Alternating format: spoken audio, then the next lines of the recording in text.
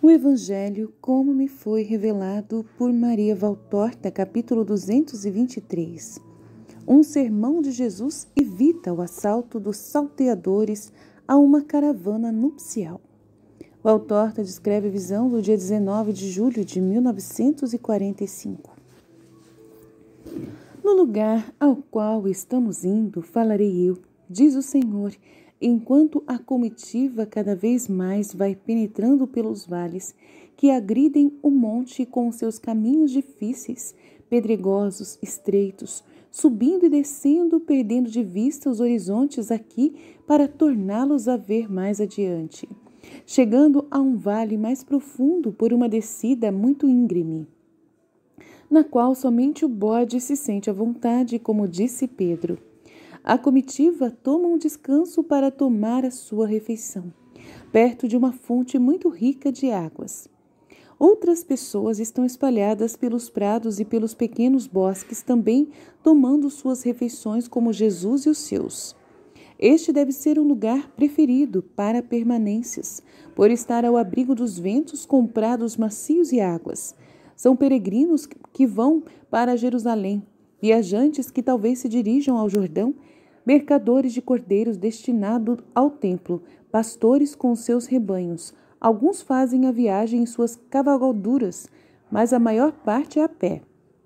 Chega também uma caravana nupcial, toda enfeitada festivamente.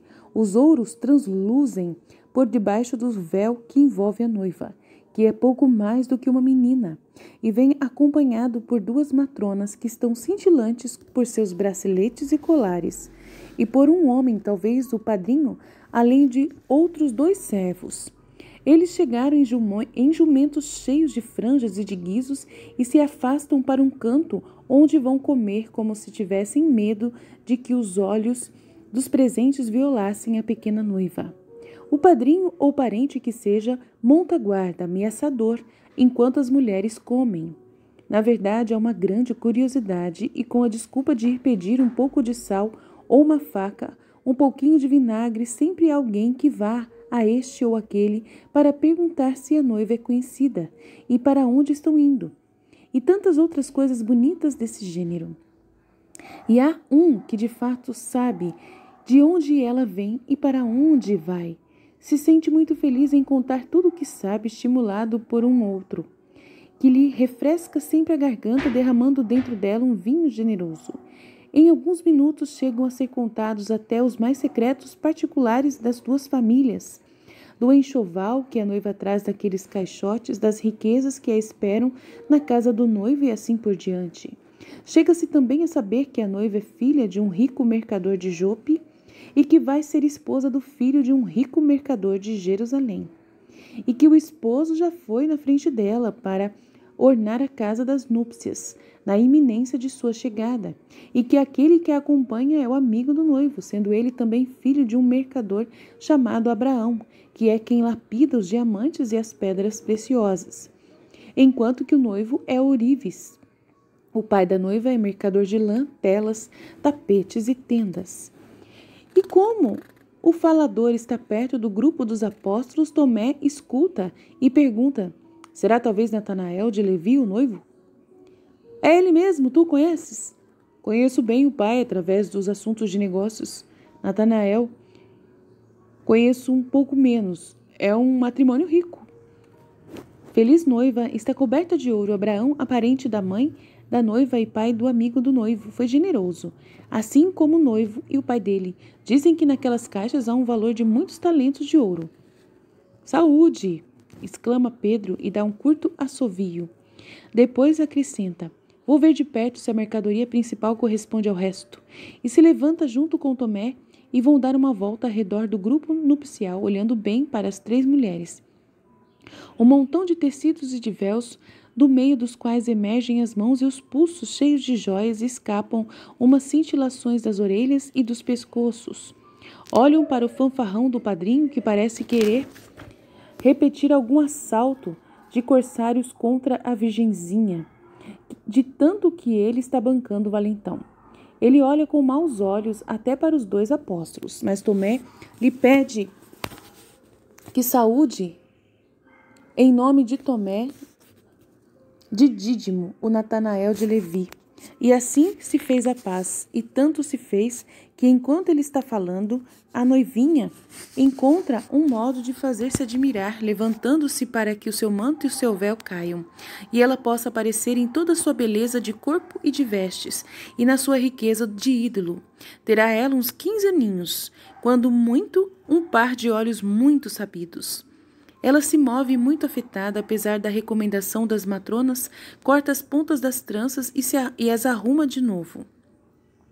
Com a ajuda de grampos de alto preço, aperta a cintura embelezada com pedras preciosas, se desata, se desfia, desata e coloca de novo as sandálias cuja forma é de sapatinhos, bem fechados no, no peito do pé com fivelas de ouro, e nesse interim procura mostrar sua magnífica cabeleira cor de amora, suas belas mãos e delicados braços, a cintura gentil, o peito e os quadris bem feitos, o pezinho sem defeitos e todas as joias que tilintam e mostram suas facetas às últimas horas do dia e as chamas das primeiras fogueiras. Pedro e Tomé voltam para trás e Tomé diz: é uma bela moça. É uma perfeita namoradeira, mas será que o teu amigo Natanael logo ficará sabendo que há alguém esquentando-lhe a cama, enquanto ele escanta o ouro para trabalhá-lo? E o amigo dele é um grande bobo, e, e ele lhe confiou bem a sua noivinha, termina Pedro, indo sentar-se entre os companheiros. A mim não agradou aquele homem que fazia falar aquele outro bobo. Quando ele chegou a saber tudo o que queria saber, foi-se embora pelo morro acima. Estes lugares são maus, e este é o tempo bom para os golpes dos malandros. As noites agora são de luar. O calor cansa. As árvores estão copadas. Um, este lugar não me agrada, resmunga Bartolomeu. Seria melhor prosseguir.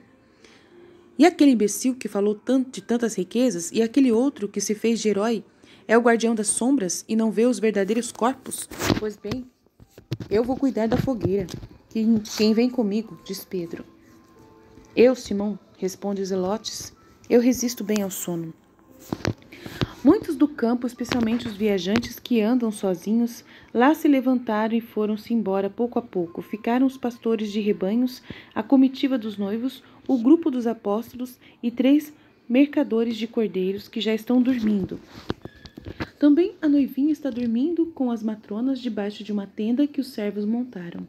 Os apóstolos estão procurando um lugar. Jesus fica sozinho em oração. Os pastores fazem um grande fogo no centro do descampado onde estão. Pedro e Simão fazem outro perto do caminho que vai para o despinhadeiro, onde foi foi se encafu, encafuar aquele homem que fez Bartolomeu suspeitar. Passam as horas e quem não está roncando está cabeceando. cabeceando. Jesus reza, o silêncio é total.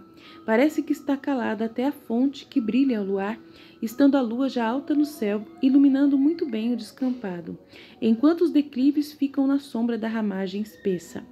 Um cão dos pastores começa a rosnar. Um dos guardas do rebanho levanta a cabeça.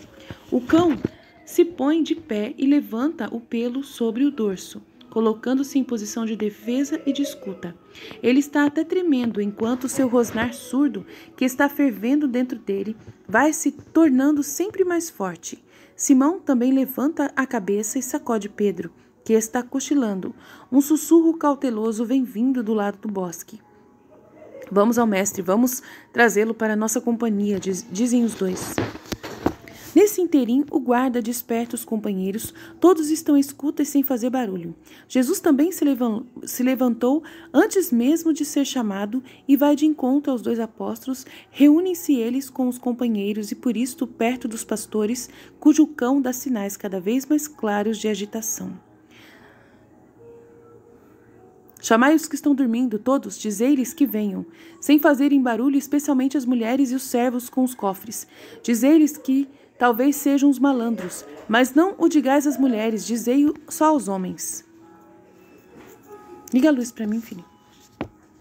Os apóstolos se espalham obedecendo ao mestre que diz aos, aos pastores: Alimentai o fogo, que ele fique bem forte e faça uma chama bem viva. Os pastores obedecem e, como parecem estar agitados, Jesus lhes diz: Não temais, não vos será tirado nenhum floco de lã. Sobrevêm os mercadores e sussurram. Lá se foram os nossos ganhos, e acrescentam um rol de impropérios contra os governadores romanos e judeus que não limpam o mundo dos ladrões. Não temais, não perdereis nem um centavo, conforta-os Jesus. Chegam as mulheres chorando, espavoridas, porque o corajoso padrinho, por entre os tremores de um medo fenomenal, as aterroriza, dizendo: É a morte, a morte pela mão dos salteadores. Não temais, não sereis atingidas nem mesmo com um olhar.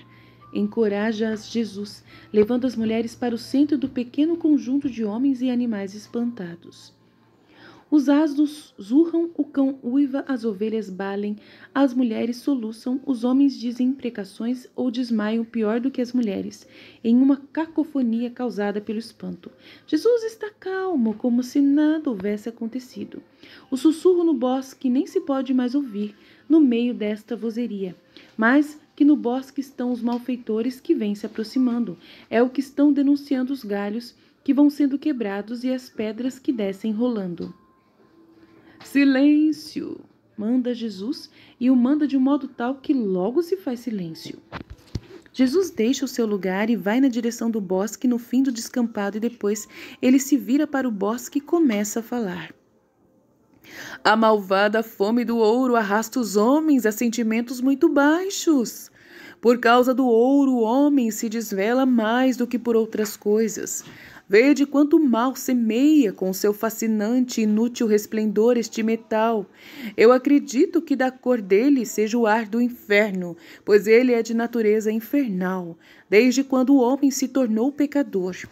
O Criador o tinha deixado nas vísceras deste enorme lápis, lazuli que é a terra, criada por sua vontade, a fim de que fosse útil ao homem com os seus sais e servisse para embelezar os seus templos. Mas Satanás, tendo beijado os olhos de Eva e mordido o eu do homem, pôs um sabor de malefício no metal inocente, e desde então pelo ouro se mata e se peca. Por ele a mulher se torna namoradeira e facilmente cai no pecado carnal. Por ele o homem se torna ladrão, usurpador, homicida, duro para com o próximo e para com sua alma, que ele despoja de sua verdadeira herança para dar a si mesmo uma coisa efêmera, a alma por ele depredada em seu tesouro eterno, para dar a si mesmo umas poucas escamas brilhantes, que quando chegar a morte vão ser abandonadas.